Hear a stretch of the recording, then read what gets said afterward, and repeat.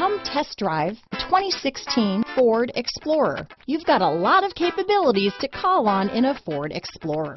Don't underestimate your choices. This vehicle has less than 25,000 miles.